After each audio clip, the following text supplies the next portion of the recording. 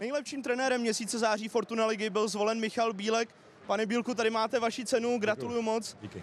Dnes to asi nebylo úplně taková oslava téhleté trofeje pro vás, ale budete to hodnotit tak, že je konec dobrý, všechno dobré? No tak to určitě ne, samozřejmě jsme rádi, že jsme to utkání vyhráli, ale byla tam spousta věcí, na kterých musíme zapracovat a zlepšit se. Dlouho to vypadalo, že se vám nedaří dostat eh, do té vaší nejlepší hry, bylo tam hodně nepřesností. Z čeho pramenili podle vás? Tak um, my jsme to utkání dobře začali, dali jsme, dali jsme branku, pak jsme, pak jsme rychle inkasovali. Měli jsme tam nějakou šanci v první půli, kterou jsme, kterou jsme neproměnili a pak bylo tam, jak se říká, bylo tam spousta nepřesností.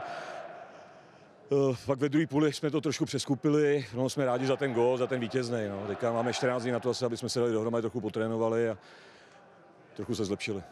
Musel jste o poločase hodně zvýšit hlas, protože to vypadalo, že jste tam i několikrát kroutil hlavou, že jste vlastně nechápal, co vaši hráči na hřišti předvádí.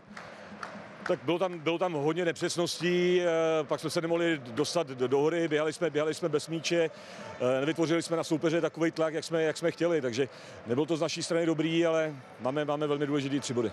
Rozhodla pak kvalita lavičky, protože jste tak říkajíc tam pak Zlín už uvařili v tom konci zápasu. Tak eh, jsem rád, že ta lavička je, je, je silná, ať tam přijde, kdo tam přijde, tak uh, tu naši hru může oživit a taky, taky se tak stalo dneska. Děkuji za hodnocení a gratuluju. Díky taky na stranu.